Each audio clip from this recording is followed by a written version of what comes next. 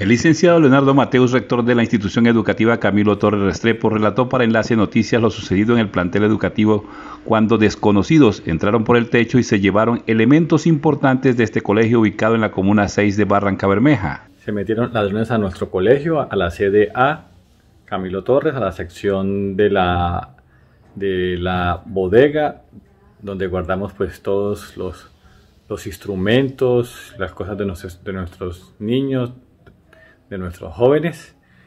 Eh, podemos decir que se robaron una cabina de sonido, unos acordeones. Eh, todavía no, no, sabemos qué más cosas. Estamos verificando con las actas de lo que tenemos ahí guardado.